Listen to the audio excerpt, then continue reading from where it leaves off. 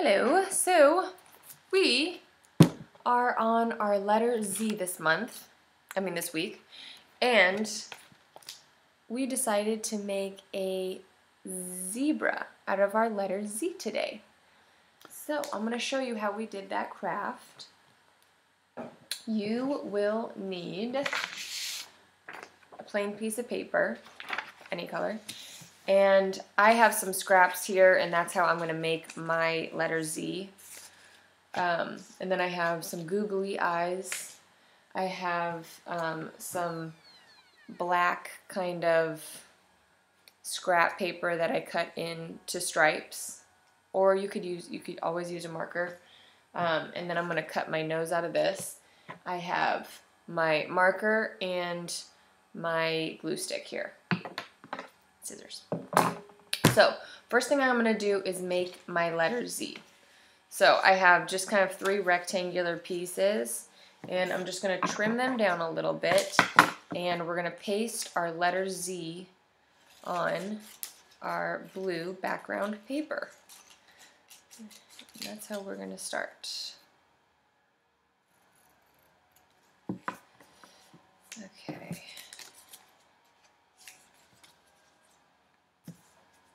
I actually did this part um, for the kids. I just made um, pre-made my Z's just so they could um, glue it down and get started.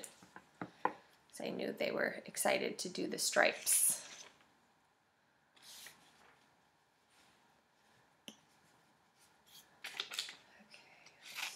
Okay,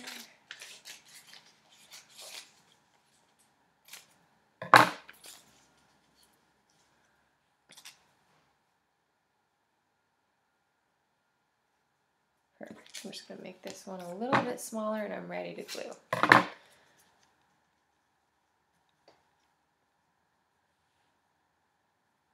Okay, so I'm going to have my letter Z about this size. And I'm going to go ahead and glue it down. And that is our first step.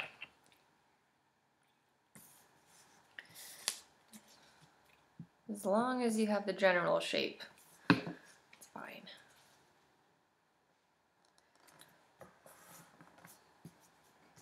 And we talked a little bit about zebras.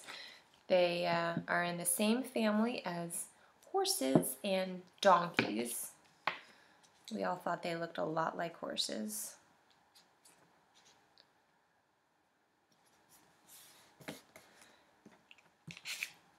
And they come from Africa.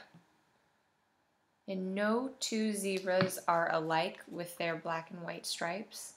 So you, that's why you can do your stripes however you want because no two zebras are alike. All right, here's my Z. Now that I have my Z, I ha I'm going to glue these little um, scraps of paper or you can use your marker and just talk about the stripes, the general stripes. In whatever pattern you want, there's no right way to do it or wrong way. Some of them were going different directions, it's fine. Just as long as we got some stripes on there.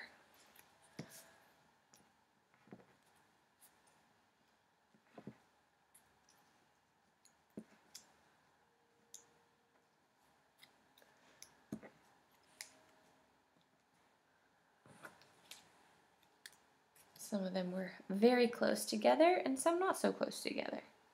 But it's all good.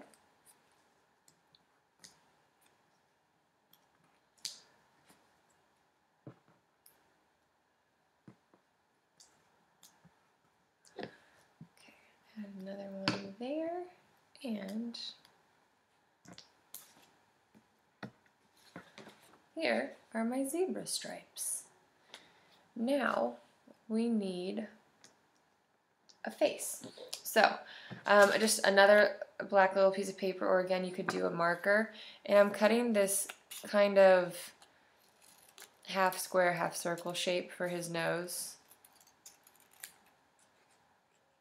so it looks something like let's see that there you go and then his nosy is going to go right on the edge there And then we'll do our eyeball, a googly eye. If you don't have a googly eye, marker or black and white construction paper always works.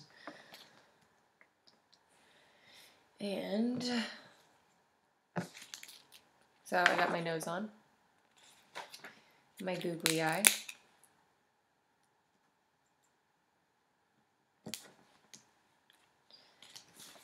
Put my eyeball on. And a little smiley, I think.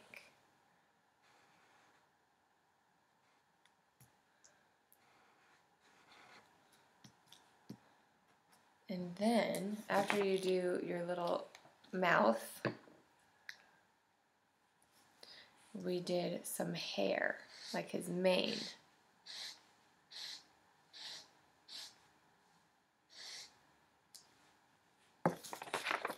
Like so. And there's my zebra. Face didn't turn out great, but that's okay. Perfect. And there is your Z for zebra. Have fun with this. And I will give you guys some more Z things. Let me show you one thing really quick that I did for today.